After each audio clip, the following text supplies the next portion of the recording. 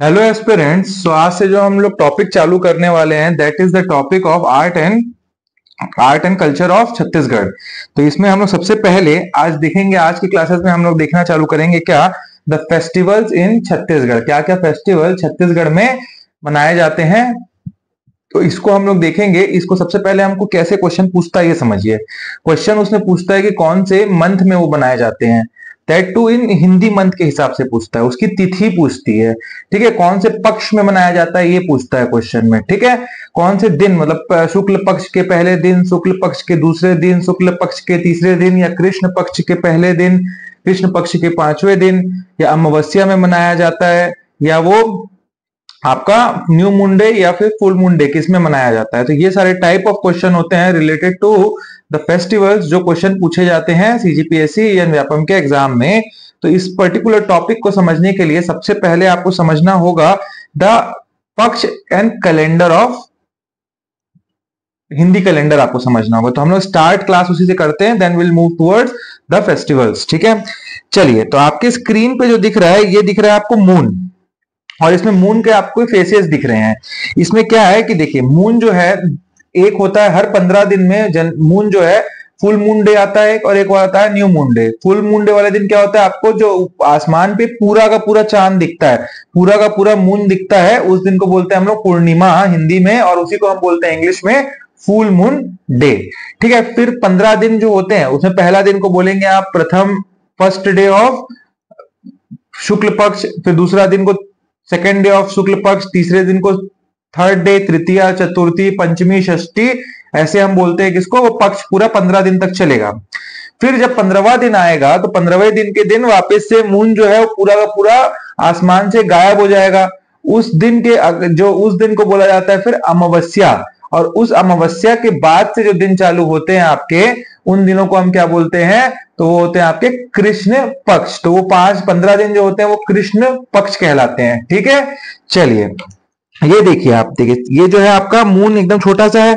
अब मून देखिए, बढ़ता जा रहा है मून बढ़ता जा रहा है, बढ़ता जा रहा है, बढ़ता जा रहा है, बढ़ता जा रहा है, और यहाँ पे आके पूरा आ गया। तो ये आपका क्या हो गया? जब फुल हो गया तो ये हो गया आपका फुल वाले टाइम पे न्यू मून डे हो गया, यही वाला न्यू मून और न्यू मून जिस दिन रहता है उस दिन को हम क्या बोलते हैं? पूर्णिमा हिंदी में। ठीक है? इसके बाद ये देखिए, फिर कम होता जा रहा है, कम होता जा रहा है, कम होता जा रहा है, कम होता जा रहा है, कम होता जा रहा है, छोड़ा सा ही बच्चा, फिर आखिर यहाँ गायब हो गया। जब वो गायब हो गया, उसको बोलते हैं हम लोग, full moon day. Full moon day. ठीक तो ये हो गया आपका क्या? अमावस्या का दिन हो जाएगा, उस दिन को अमावस्या बोलेंगे। अब वैसे ही आप देखेंगे, ये डिवाइडेड है, जो ये फ़र्स्ट फ़ेज़ है, जो मून है आपका, ये गायब होने से लेके ये वापस मून फुल आने तक का पक्ष को बोलते हैं हम लोग क्या? शुक्ल पक्ष शुक्ल पक्ष। और वैसे ही फुल मून जो होता है, पूरा मून जो पूर्णिमा का मून दिखता है, वहाँ से फिर आपका अमावस्या आने तक के टाइम को हम लोग बोलते हैं कृष्ण पक्ष। तो देखिए आप इसमें ये देखिए, आपका ये तिथि ऑफ़ मून है new name of this starting with full moon ठीक है? और ये जो आपका कृष्ण पक्ष है फुल मून में होता है टू न्यू फुल मून से न्यू मून मैंने बताया ना फुल मून से न्यू मून जब गायब रहता है, होता नहीं है। और ये आपका क्या हो गया new moon to full moon ठीक है, शुक्ल पक्ष। अब शुक्ल पक्ष में कैसे इसको पढ़ा जाता है, देखिए तिथि, कृष्ण पक्ष प्रतिपदा, द्वितीय, तृतीय, चतुर्थी तो आप ये देख सकते हैं, ऐसे ही जो पंद्रहवा दिन होता है, उसको हम लोग कृष्ण पक्ष के क्या बोलते हैं, उसको अमावस्या बोलते हैं, ठीक है? अमावस्या, वैसे ही शुक्ल पक्ष में उसको क्या बोला जाता है? शुक्ल पक्ष में उसको बोलते हैं हम पूर्णिमा, ये आपका लिखा है पूर्णिमा, ठीक है? तो ऐसा आप ये अपने स्क्रीन पे देख सकते हैं और हर डे को क्या क्या बोला जाता है, वो आपको समझ आएगा, पहले से लेके तीसवें तारीख तक का है, ठीक है? अच्छा चलिए अब आपको एक और चीज़ है हम लोग जनरली जो फॉलो करते हैं, उसको हम लोग बोलते हैं ग्रेगोरियन कैलेंडर अभी जो ग्रेगोरियन कैलेंडर होता है जॉर्जियन कैलेंडर भी बोलते हैं, जिसको वो होता है आपका generally 365 days plus six hours का। ठीक है? यही सिक्स आवर्स है, जो चार साल में सिक्स इंटू फोर होते हैं और ट्वेंटी फोर आवर्स बनता है और लीप ईयर वाले साल में हम लोगों को थ्री सिक्सटी सिक्स डेज़ देखने को मिलते हैं, जो इस साल था, इस साल है। ठीक है, जो अभी फरवरी ट्वेंटी नाइन का था ना इस साल तो ये लीप ईयर का आपको कंसेप्ट है। वैसे ही जो हम लोग फॉलो करते हैं, उस कैलेंडर को क्या बोलते हैं हम लोग? उसको बोलते हैं हम लोग विक्रम संवत। अब विक्रम संवत के हिसाब से अभी क्या, कौन सा ईयर चल रहा है? अभी चल रहा है 2081 ठीक है? मतलब Vikram Samvat is 57 years ahead of Georgian calendar ठीक है? इंग्लिश कैलेंडर से। अभी विक्रम संवत जो है, इसको विक्रम संवत क्यों बोला जाता है? तो एक्चुअली होता यूँ है कि उज्जैन के साका किंग जो होते हैं, वो जो उस टाइम पे होते हैं, उज्जैन के किंग वो डिफीट करते हैं किसको? साकास को। तो उसके कारण इनका नाम रहता है विक्रम तो उस नाम से फिर चालू हो जाता है Vikram Samvat and we follow हमारा जो गवर्नमेंट ऑफ़ इंडिया है, वो भी इस कैलेंडर को फॉलो करता है। ठीक है? अब आपको पता, ये बताना है कि अब और क्या है कि एक कंसेप्ट और है, मलमास का कंसेप्ट जो लास्ट ईयर हमारा सावन जो है, सावन का मंथ आप देखे थे, वो काफ़ी लंबा 50 55 डेज़ का मंथ था। उसका रीजन क्या है? तो बेसिकली जो हमारा हिंदू कैलेंडर है, वो बेसिकली आपका मून के ऊपर बेस्ड है। और मून को जैसे जैसे ये आपका अर्थ है, और अर्थ को एक रोटेशन करने पे सन का कितना टाइम लगता है तो 365 डेज़ सिक्स आवर्स लगते हैं।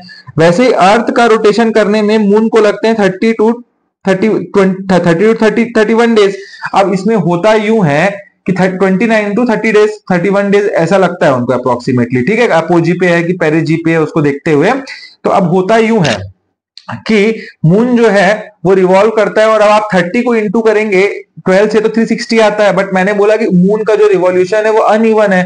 तो अप्रोक्सीमेटली 29 पॉइंट समथिंग निकलता है तो 354 डेज़ लगते हैं मून को मतलब अप्रोक्सीमेटली 354 डेज़ हम निकाल पाते हैं, एक जो मून को हर महीने में घूमने में लगता है। तो कितने हो गए? 354 डेज़ ठीक है? तो ये आपका इसलिए 354 को आप 365 से माइनस करेंगे तो आपको 11 डेज़ मिल रहा है। अब ये 11 डेज़ को आप जब तीन साल से इंटू कर लेंगे तो आपको 33 डेज़ मिला। और यही 33 डेज़ जो है आपका 30 टू 33 डेज़ हर, जो तीन साल बाद जो आपका होता है, मलमास के रूप पे आपका एक मंथ किसी भी एक पर्टिकुलर मंथ में ऐड किया जाता है, एक एक्स्ट्रा मंथ तो ये आपको मलमास का कंसेप्ट मैंने बता दिया। ठीक है, चलिए अब आप देखते हैं क्या क्या मंथ होते हैं और क्या क्या मंथ को क्या कौन कौन से नाम से जाना जाता है। तो जो इंडियन कैलेंडर है, जो हिंदू कैलेंडर है, वो स्टार्ट होता है with the month of Chaitra जो आपकी चैत्र की नवरात्रि होती है, वैसे चैत्र जो होता है पहला महीना। फिर उस महीने को क्या बोला, कौन से मंथ में जनरली पड़ता है? तो अभी कुछ महीने पहले, एक दो महीने पहले ही आपका निकला है कौन सी नवरात्रि? चैत्र की नवरात्रि, गर्मी की नवरात्रि। उसी नवरात्रि का पहला दिन जो होता है it is the Hindu new year ठीक है? It is the Hindu new year तो हमारा कैलेंडर जो इस पे स्टार्ट होता है, वो चैत्र नवरात्रि से स्टार्ट होता है और वो जनरली पड़ता है, आपको पता है कि लास्ट वीक ऑफ़ मार्च और first second week of April में ही पड़ता है वो। तो आप देख रहे हैं Chaitra is equals to March April वैसे वैशाख, जेठ अषाढ़ सावन, भादो, अश्विन, कार्तिक, माघ, पौष माघ, फागुन। तो इतने मंथ है और ये आखिरी मंथ होता है, फागुन का एंड करता है, ठीक है? फागुन के बाद फिर चैत्र आ जाएगा। तो अभी हमको यही समझना है, यही सारों सारों को देखना है कि चैत्र में कौन कौन सी, चैत्र के शुक्ल पक्ष में कौन कौन सी, चैत्र के कृष्ण पक्ष में कौन कौन से त्योहार पड़ते हैं? फिर वैसे ही हम आगे देखेंगे क्या? कि हमको सावन के किस किस कौन से पक्ष में कौन कौन से त्यौहार पड़ते हैं और यही क्वेश्चन जनरली पूछता है और उसके साथ साथ हम लोग एक एक त्यौहार को, एक एक फेस्टिवल को डीपली समझने की कोशिश करेंगे। ठीक है? चलिए तो सबसे पहले मैं आप लोगों को एक वो बनाता हूँ, एक ग्राफ सॉरी एक चलिए बनाया जाए। आप यहाँ लिख सकते हैं कृष्ण पक्ष, ठीक है? और दूसरा पक्ष मैंने पंद्रह दिन का कौन सा बताया? तो वो है आपका शुक्ल पक्ष। अब यहाँ पे हम लोग पहले के छह महीने के बस बात कर रहे हैं अभी, ठीक है? फिर सेकेंड छह मंथ को अगले महीने, अगले क्लास में हम लोग देखेंगे। पहले छह महीने में कौन कौन से फेस्टिवल पड़ते हैं, उनको आज देखते हैं। सबसे पहला मंथ क्या है? चैत्र, ठीक है? इसके बाद आपका कौन सा है? बैशाख फिर आपका जेठ। फिर अषाढ़ भादो सावन। फिर आपका पड़ेगा भादो, ठीक है? चैत्र मंथ के कृष्ण पक्ष में कोई त्योहार नहीं पड़ता। बैसाख के कृष्ण पक्ष में कोई त्योहार नहीं पड़ता। जेठ के कृष्ण पक्ष में कोई त्योहार नहीं पड़ता।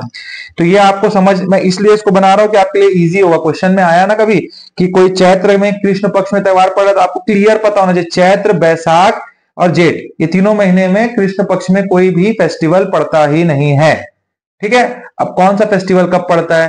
तो चैत्र में जो पहला फेस्टिवल फ़र्स्ट डे शुक्ल पक्ष का होता है, जो कि न्यू ईयर ऑफ़ इंडिया बोला जाता है new year of Hindu as पर हिंदू कैलेंडर बोला जाता है नॉट इंडिया सॉरी तो उस हिंदू हिंदू हिंदू कैलेंडर के हिसाब से जो न्यू ईयर है, उसका पहला दिन होता है नवरात्रि। और नवरात्रि कब पड़ती है? तो फ़र्स्ट डे ऑफ़ शुक्ल पक्ष ऑफ़ नवरात्रि यहाँ पड़ेगी आपकी, ठीक है?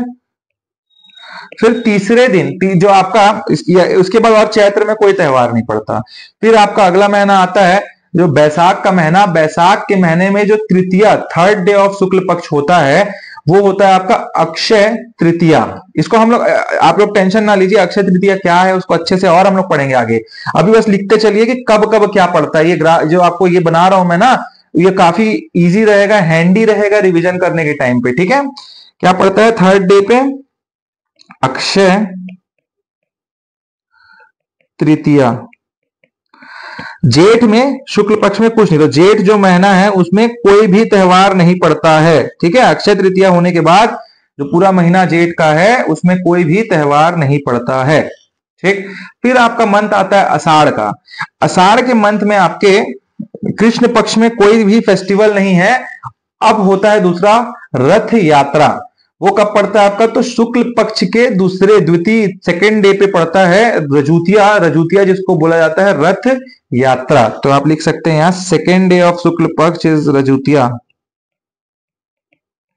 और रथ यात्रा। ठीक है?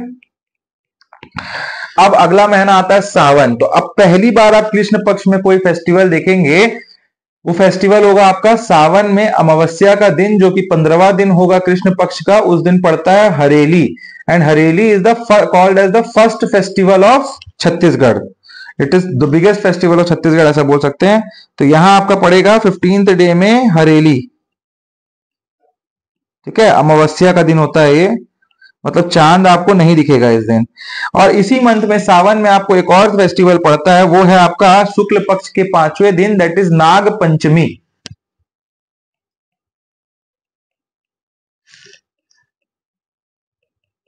ठीक है? अब देखिए, सावन का जो ये, जो पाँचवें दिन आपका पड़ गया, सावन के क्या नाग पंचमी नौवा दिन, जैसे पांचवा निकला, फिर षष्ठी आएगा, सप्तमी आएगा, अष्टमी आएगा, नवमी वाला दिन जो होता है, नवमी वाले दिन भोजली को, आपको जवारा, भोजली को उगाने के लिए मिट्टी में डाला जाता है, ठीक है? तो भोजली, आप लिख सकते हैं नाइन्थ डे जो होता है ninth day of Sawan that is Bhojali, ठीक है? भोजली।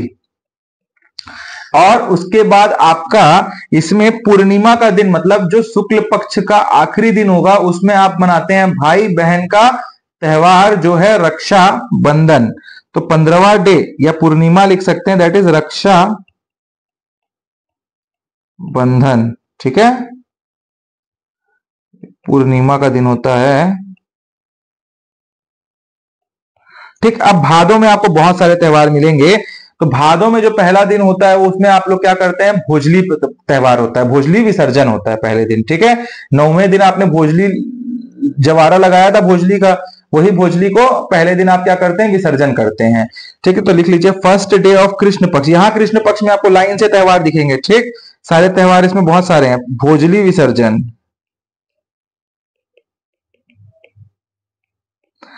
सेकेंड डे जो होता है, उसमें होता है बौरा चौथ।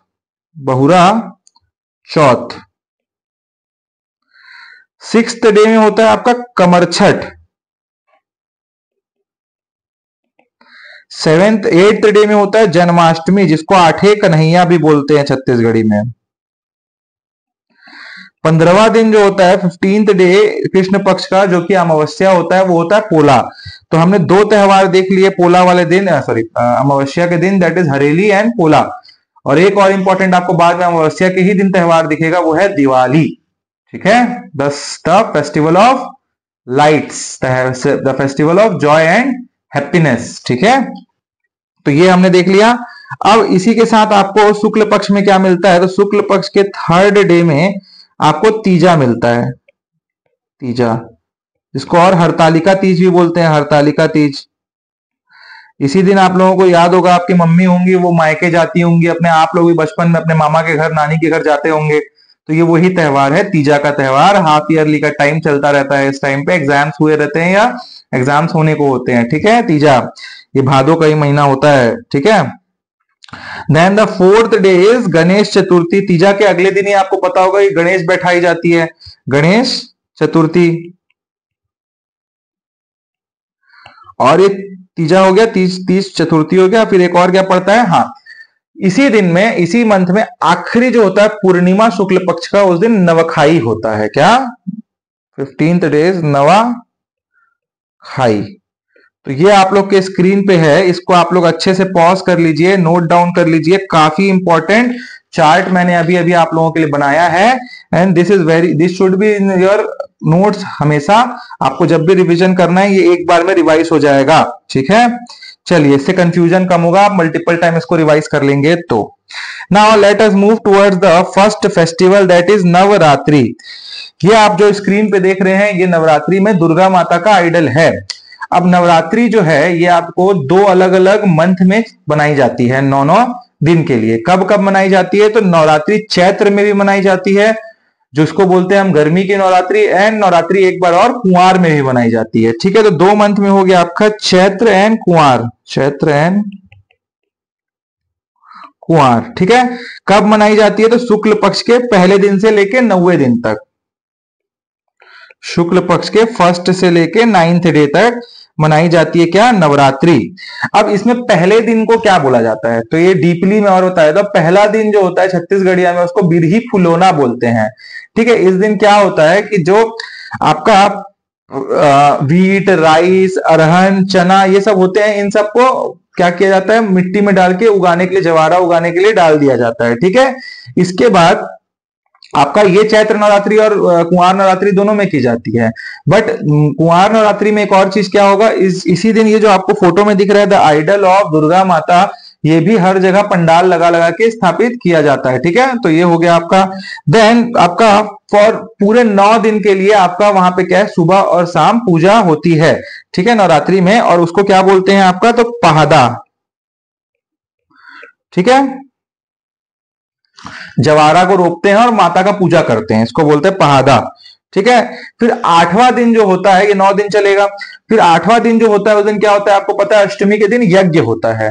ठीक है? यज्ञ होता है अष्टमी के दिन, फिर नवमी के दिन आपका नवरात्रि विसर्जन होता है, जिसको और जवारा विसर्जन बोलते हैं, और नवरात्रि फिर खत्म होती है। तो ये आपको नवरात्रि के बारे में पता होना चाहिए। मेन यही था, चैत्र एंड कुमार शुक्ल फ़र्स्ट लेके नौवा। ठीक है? मैं एडिशनल नॉलेज और आप लोगों को देते रहता हूँ सब चीज़ों को।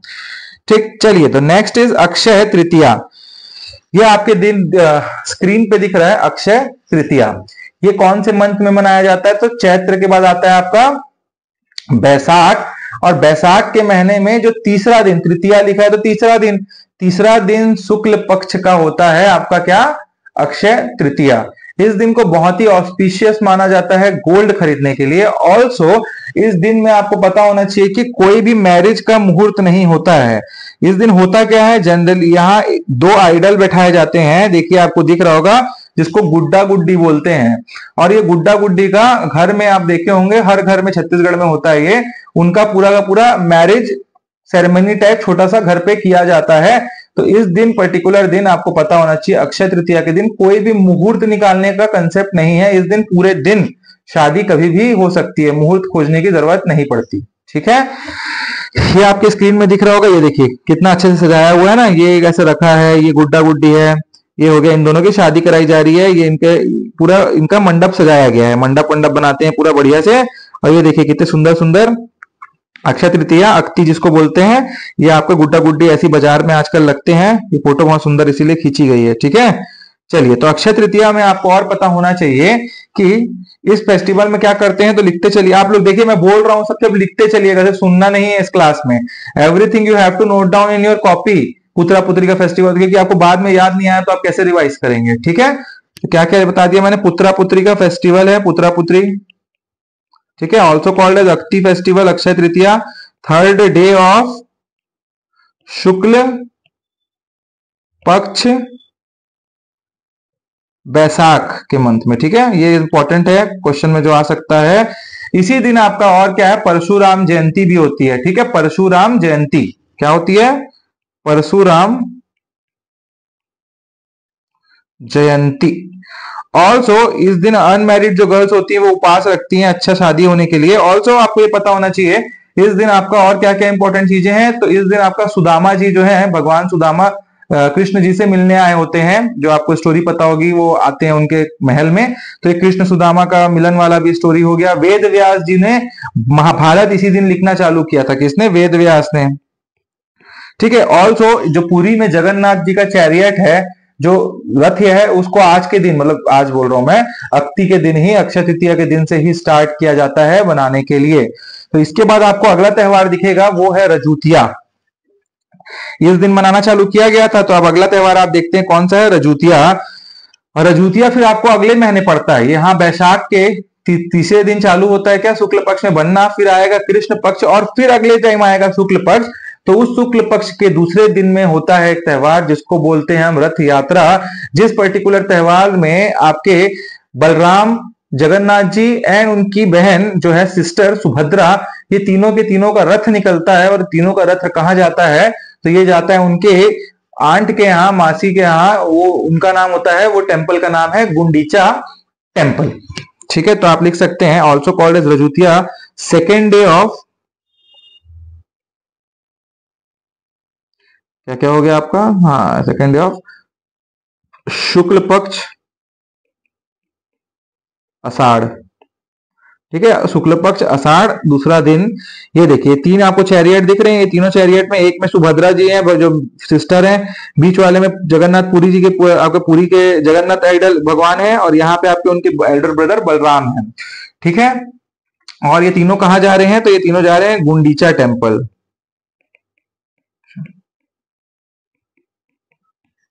ठीक है? तो आप लोगों को ये पता होना चाहिए। इसको छत्तीसगढ़ी में क्या बोलते हैं? रजूतिया। ठीक है?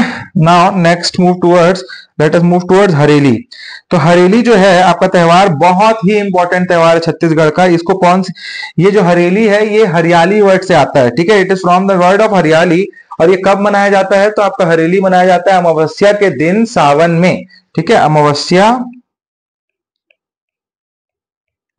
Sawan. It is a main festival of farmers इसको इस फेस्टिवल को देख रहे होंगे आप लोग इसलिए ये फार्मर्स का फ़ोटो मैंने डाला है ये फार्मर्स बनाते हैं इस फेस्टिवल को मेनली ठीक है? और it is the most important festival of Chhattisgarh most important important festival of Chhattisgarh. इस फेस्टिवल में क्या होता है देख रहे होंगे आप यहाँ पे से, से, फ़ोटो के सेकंड आपने आपका हल रखा हुआ है हल रखा हुआ है टंगिया रखा हुआ है ठीक है? हसिया रखा हुआ है, सौ बोलते हैं जिसको, हसिया हसिया रखा हुआ है, ठीक है? नांगर हल इन सब की पूजा की जाती है। इसका ऑल टुगेदर मतलब है, जो भी चीज़ें, जो भी आपके इंस्ट्रूमेंट जो भी औज़ार आपके लगते हैं फ़ार्मिंग करने के लिए, उस पर्टिकुलर सारे सारे के सारे इंस्ट्रूमेंट का उस दिन पे पूजा किया जाता है। और इसी दिन आपको पता होगा कि क्या मनाया जाता है? गुड़हा चिला गुड़हा चिला बनाया जाता है हर घर में। और ये गुड़हा चिला को खाया जाता है इस पर्टिकुलर दिन में, ठीक है? आपको पता होना चाहिए। ऑल्सो इसमें कौन से देवी का पूजा किया जाता है? अगर क्वेश्चन में पूछता है, कि पूछा हुआ है तो इसमें आपका पता होना चाहिए, हरेली में कुटकी देवी का पूजा किया जाता है। और कुछ जगहों पे गोरैया देव का भी पूजा किया जाता है। किसका? Goraiya Dev. They both are worshipped in this festival ठीक है? गुरहा चिला बनाया जाता है, ये भी एक इंपॉर्टेंट है। और ऑल्सो आपको पता होना चाहिए कि यहाँ पे जो औरतें होती हैं, वो दीवार में सवनाही बनाई हैं। क्या होता है? सवनाही क्या होता है? सवनाही जो है, जो मेन जो आपके घर का मेन जो होता है ना आपका दीवार, उस मेन दीवार जो बाहर की होती है, उसमें काऊ डंग से वो जो घर की लेडीज़ होती हैं गाँव में, वो क्या करती है, उनको गोबर से लीपती है मतलब गोबर से लगा, गोबर लगाती हैं, जो कि होता है काऊ डंग। क्यों उसका रीजन है? क्योंकि इस पर्टिकुलर दिन में हरेली के दिन ऐसा माना जाता है इस दिन जो आपकी तांत्रिक पावर होते हैं ब्लैक मैजिक पावर होती है ना, ये सब ये सब काफ़ी स्ट्रांग होती हैं। तो उससे बचने के लिए इविल से बचने के लिए इसको लगाया जाता है। To avoid the evil spirits ठीक है? To avoid the evil spirit as they become more effective on the day of amavasya of Hareli ठीक है? तो वो होता है सवनाही ठीक है? आप लिख लीजिएगा उसका अपना। इसके साथ साथ इस पर्टिकुलर डे में गेड़ी गेड़ी लोग चलते हैं और इसको एंजॉय करते हैं। तो ये होता है गेणी। गेणी क्या होता है?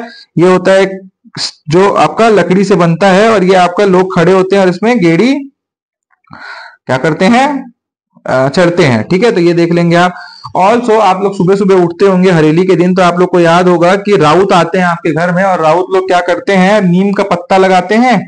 नीम का पत्ता हर घर के बाहर दिखता है आपको हरेली फेस्टिवल में। तो ये आपको पता होना चाहिए और ज़्यादा कुछ इसमें है नहीं फिर, ठीक है? चलिए, हमने हर चीज़ देख ली है, हरेली फेस्टिवल से रिलेटेड ठीक है? चलिए द नेक्स्ट फेस्टिवल मैंने आप लोगों को बताया था, हरेली के बाद पड़ता है, नवमी वाले दिन, शुक्ल पक्ष के नवमी वाले दिन क्या पड़ता है? भोजली फेस्टिवल अब ये भोजली फेस्टिवल होता क्या है? तो देखिए, भोजली कब पड़ता है? शुक्ल पक्ष नवमी, ठीक है? मैंने बताया नवमी और ये फेस्टिवल को और बोलते हैं फेस्टिवल ऑफ़ फ्रेंडशिप क्या बोलते हैं? फेस्टिवल ऑफ़ फ्रेंडशिप इस फेस्टिवल भोजली जो है, दो वर्ड से मिलकर बना है, भो एंड जली। तो भो का मतलब होता है लैंड और जली का मतलब होता है आपका वाटर तो इस पर्टिकुलर फेस्टिवल में होता यूँ है कि गाँव में सारे घरों से सब लोगों को बोलते हैं कुछ कुछ लाके अनाज, जो भी अनाज, जैसे गेहूँ है, चावल है, जो उगाना है आपको उस सबको ठंडी के टाइम राइस उगता है ना तो राइस राइस वाइस सबके सब इकट्ठा करते हैं और इसके बाद उस इकट्ठा किए राइस से सब दस घर को चुनते हैं और दस घरों में जाके इन इन जो जो आपके सीड्स होते हैं उसको जर्मिनेट करने के लिए उगाया जाता है। अगर वो सीड्स दस घरों में जाके जर्मिनेट दस घरों में जहाँ पे जर्मिनेट होने दिया जाता है, उनमें से सात घरों में भी सेवन हाउसेज में जर्मिनेट हो जाता है तो लोग ये मानते हैं, उस साल में रघिया और एधा, रेखा और अधिया बोलते हैं ना आपका? मतलब दूसरे के लैंड को जनरली क्या होता है, जो जो छोटे फार्मर्स होते हैं, वो दूसरे के लैंड को अपने किराए पे लेते हैं। उसको छत्तीसगढ़ी में रेघा अधिया बोला जाता है, ठीक है? तो उस पर्टिकुलर में इनको ये है कि ये, इससे ये समझ पाते हैं कि ये साल में वेदर और वाटर कैसा रहेगा। ठीक है, आप समझ रहे हैं कि अगर वो सात घरों में उग गया तो वेदर एंड तो इसको आप बोल सकते हैं क्या? It is predetermination of predetermination of course of action of water in land and weather ठीक है मैंने जो स्टोरी बताई वो अपने वर्ड्स में लिख लीजिएगा ठीक है होता यूँ ही है भाई गाँव में ठीक है ऑल्सो क्वेश्चन ने पूछेगा कि कौन से फेस्टिवल में बार बार एक गंगा वर्ड का यूज़ होता है? तो देखिए, इस भोजली फेस्टिवल में आपका है, क्या बोला जाता है? अहो, देखिए, अहो, देवी, मैं ये गाना लिख रहा हूँ जो भोजली में गाते हैं। गंगा, देवी, गंगा, लहर तरंगा।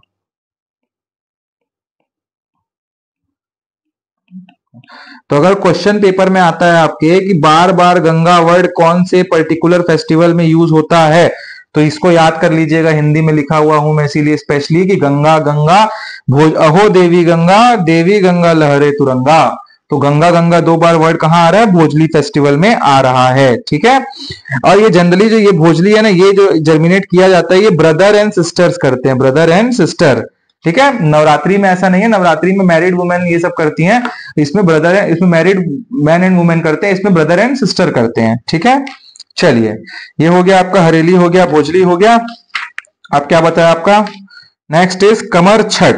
तो कमर छठ के बारे में ज़्यादा कुछ नहीं है। कमर छठ पड़ता है आपका six day of Krishna Paksha in Bhado. Six day of Krishna Paksha Bhado के महीने में। मैंने स्टार्टिंग में इसीलिए बता दिया। इसमें क्या होता है कमरछठ क्या होता है? माताएँ जो होती हैं मदर्स जो होती हैं, अपने सन एंड डॉटर के लिए इस पर्टिकुलर लॉन्ग लाइफ के लिए इसमें फास्ट रखती हैं। और फिर जब शाम को वो खाना खाती हैं तो उस टाइम पे क्या खाती हैं? छह अलग अलग भाजी जो होते हैं ना आपके, भाजियों से मिला हुआ एक भाजी बनाई जाती है, जिसमें six different different type of bhaji होती है, ठीक है? तो छह प्रकार की भाजियाँ होती है, उसको ईट उसको क्या करती है? खाती हैं मदर्स मदर किसके लिए फास्ट रहती हैं? तो अपने सन एंड डॉटर के लिए, ठीक है? तो आपको ये पता होना चाहिए, ठीक है? और इसमें पूजा कैसे की जाती है? तो जहाँ सब मदर्स मिलती हैं, वहाँ पे कुंड खोदती हैं ज़मीन पे, ठीक है? कुंड, और उसमें शिव गौरी को रखती है और शिव गौरी की पूजा करती हैं, ठीक है? अब प्रसाद क्या क्या दिया जाता है इसमें? तो ये आपको पता होगा, प्रसाद होता है इसमें महुआ, चना उड़द लाई, दही और एक बहुत आपको पता होगा, आप कभी कमर छठ के एक दो दिन, हफ़्ते भर पहले कभी आप बाज़ार जाते होंगे तो गाँव की औरतें या ज़मीन में लोग बैठे होते हैं रेडिश कलर का चावल लेके बैठे होते हैं रेड इन कलर टाइप का चावल, वो होता है पसर चावल तो इस दिन वही खाया जाता है, ठीक है क्या? पसर राइस ऑल्सो जो दही घी खाते हैं, वो इस दिन जो होता है, काऊ का नहीं खाते हैं भैंस जो होती है ना बफेल्लो का मिल्क एंड बफेलो का घी, ये सब, बफेलो का दही, ये सब खाया जाता है, काऊ का नहीं खाया जाता है। तो ये सारी चीज़ें आपको पता होनी चाहिए, ठीक है? चलिए। देन वी हैव नेक्स्ट आठे कन्हैया जो जन्माष्टमी होता है, वो eighth day of eighth day of Krishna paksha में पड़ता है, किसके? भादो के और इसमें कुछ नहीं है ये आपको कंस की स्टोरी तो पता ही होगी वो स्टोरी मैं इसलिए नहीं बता रहा हूँ। यहाँ पे कंस वाली स्टोरी है कि वो अपनी उनकी बहन होती है देवकी और वो बच्चे को जो जेल में बंद कर दिया होता है क्योंकि उन, उनको पता चलता है कि उनका आठवां बच्चा जो है उनको मारेगा सातवां जो बच्चा है तो वो हर बच्चे को उनकी जैसी उनकी वाइफ का होता उनकी सिस्टर का होता था तो वो मार देते थे कंस। तो कंस उनके किनके थे? कृष्णा के मामा थे और वही आठे कन्हैया को इस टाइम फेस्टिवल को हम वो करते हैं त्योहार को मनाते हैं कि कृष्ण भगवान को उनके फादर ने बाहर ले जाके बचा दिया था और कृष्ण भगवान ने फिर कंस का वध किया था। ठीक है? और इस दिन होता क्या है? जो आपका, जो जो घर होता है, गाँव में आप देखेंगे, कहीं भी देखेंगे, जो तो उसमें होता ही है कि जो जो किचन होता है, उसमें आठ कन्हैया का फ़ोटो बनाया जाता है। कैसे वो फ़ोटो बनाया जाता है? देखिए तो ऐसा रहता है वो।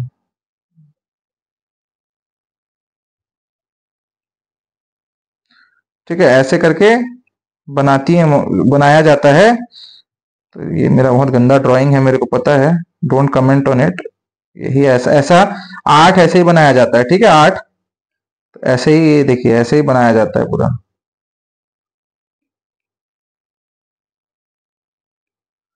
ठीक है? तो ये आपका ऐसी आठ ठोक बनाया जाता है, आखिरी आठवें तक, ठीक है एट कहा बनाया जाता है? तो किचन में। ठीक now the next is Pola Pola का फेस्टिवल देख रहे होंगे आप, आपको सीधा दिख गया होगा यहाँ पे क्या? पोरा का मतलब क्या होता है? सबसे पहले आपको पता होना चाहिए पोरा का मतलब होता है प्रेग्नेंट तो प्रेग्नेंट का मतलब क्या होता है? समझिए आप, जो इस टाइम पे हम लोगों ने धान लगा रखा है, अब धान लगाने के बाद जो उसका वो होता है, बाली होती है, उसके अंदर चाव, जो सीड है, वो जर्मिने मतलब आना चालू होता है। तो उसको वही बोलते हैं क्या? धान की बाली में सीड्स आने लगते हैं, इसीलिए पोला का त्यौहार मनाया जाता है। इस पर्टिकुलर टाइम तक क्या होता है ना, देखिए जो किसान होते हैं फार्मर होते हैं they are very much emotional about everything देखिए, हरेली के टाइम आपने देखा, उन्होंने अपने अवजार की पूजा की।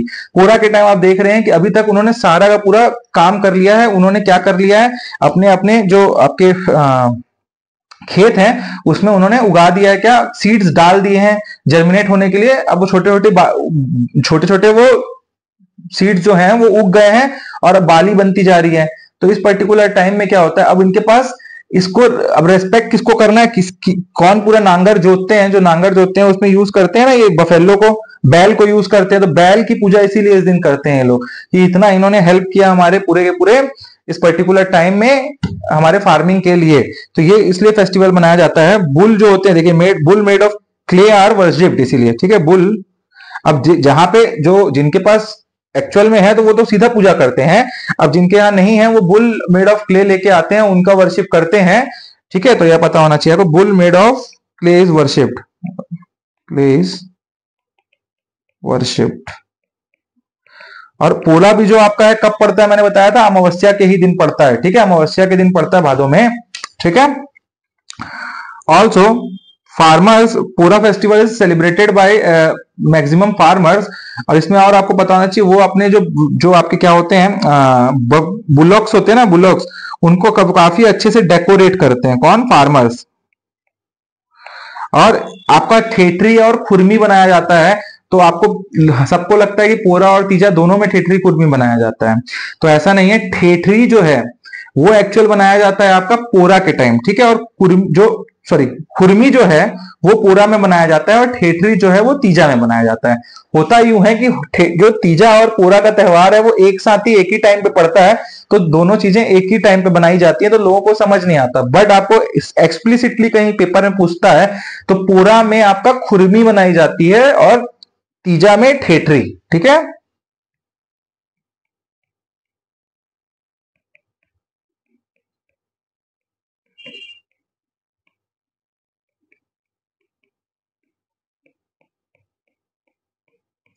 ठीक है? अब इसी के बाद अगला त्यौहार कौन सा पढ़ना है हमको? तीजा का त्यौहार। तीजा का जो त्योहार है, इसमें आप देख रहे होंगे, कुंड बना हुआ है और यहाँ पे आपको इस कुंड में तीजा पड़ता कब सबसे पहले। थर्ड डे ऑफ़ शुक्ल पक्ष, भादो। अब इसके पहले वाला हम लोग सब कृष्ण पक्ष का देखे, पूरा तक का। और पूरा अमावस्या में आया, अमावस्या खत्म हुआ, एकम आया द्वितीय आया, तीसरा दिन होता है आपका पूरा के दो दिन बाद। तीजा, इस दिन होता क्या है जो मदर्स होती है, आप लोग खुद भी जब छोटे होंगे तो अपनी मम्मियों के साथ मायका जाते रहे होंगे, उनके मायका मतलब आपके नाना का घर, आपके नानी का घर, आपके मामा का घर, उस घर में जाती हैं और जो मदर्स होती हैं, जो वाइफ्स होती हैं एक्चुअल में, वो अपने हस्बैंड के लॉन्ग लाइफ के लिए फास्ट रखती हैं, इस पर्टिकुलर दिन, पूरे दिन भर, रात भर विदाउट वाटर और इस दिन इन लोग पूजा करने जाती हैं, किसका पूजा करने जाती हैं? गौरी शंकर का। तो यहाँ पे ऐसा कुंड बनाया जाता है और गौरी शंकर को रखा जाता है और यहाँ वर्शिप की जाती है, ठीक है? और इसी दिन आपका ठेठरी बनाई जाती है।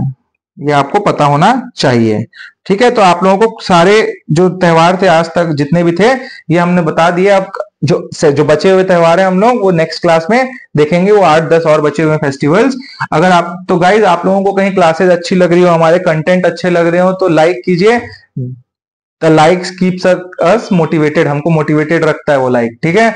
अच्छा और आप लोगों को एक और बात है कि आप लोग इन क्लासेस को प्लीज़ शेयर करिए लोगों के साथ so that it can reach to maximum students who are there for the preparation जो सीरियस प्रिपरेशन करने के लिए हैं, ठीक है? तो till the next class keep studying guys thank you